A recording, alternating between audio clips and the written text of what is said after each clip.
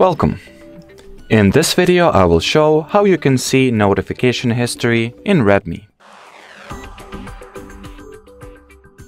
So, as of the uh, recording of this particular video, unfortunately my Redmi uh, device, smartphone in particular, does not support the notification history.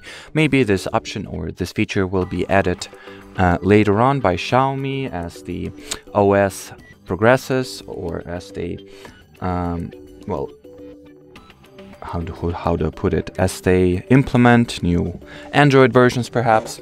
But as for now, there is a little workaround you can use if you do not mind, uh, well, going with third-party apps, third-party solutions. So launch the Google Play Store, then look for the Activity Launcher, the one that has about 10 million downloads.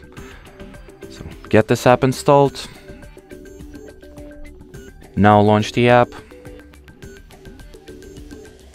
Wait until all the packages are downloaded here.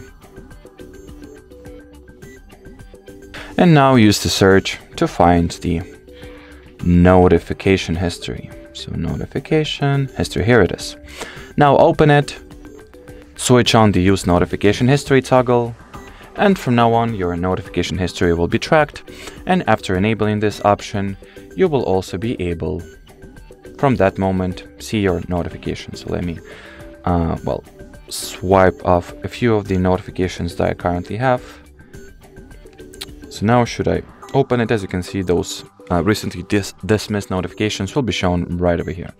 Now in order to access this uh, shortcut or this option easier, make sure to, well, create shortcut. And now while launching the app, you can open the activity launcher. And here somewhere, you should be able to find the shortcut for it. And well, as far as this video goes, that'll be it.